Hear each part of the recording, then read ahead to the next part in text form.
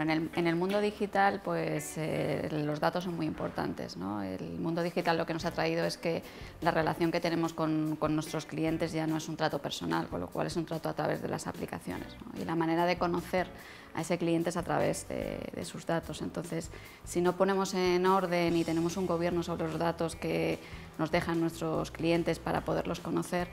esa transformación hacia el mundo digital es muchísimo más, más compleja porque no podremos hacer procesos sencillos para ellos, darles, ofrecerles productos eh, que se les, eh, se les adecuen a sus necesidades. Entonces, para el mundo de los datos en esta cuestión es muy, muy importante y, el gobierno es un elemento esencial, ¿no? porque ahora también la manera de conocer a esos clientes va a ser a través de la analítica,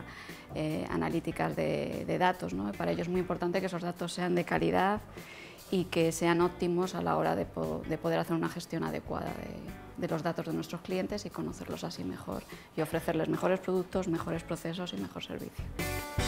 Bueno, pues los datos al final, desde que entran en, en, en, la compañía a través de las, nuestras sucursales, a través de esos aplicativos con nuestros clientes, van pasando por todos los procesos del banco y además el dato es un elemento esencial para poder hacer esa gestión. Entonces, esto nos tiene que hacer ver a todos los miembros de la compañía de que el dato es una cosa de todos y que además el dato no vive solo, se, se, une a otros datos para generar información de cara a poder que la compañía tome las mejores decisiones, no desde el punto de vista solo de la empresa, sino de las mejores decisiones desde el punto de vista de nuestros clientes. ¿no? Entonces, para ellos es esencial que toda la compañía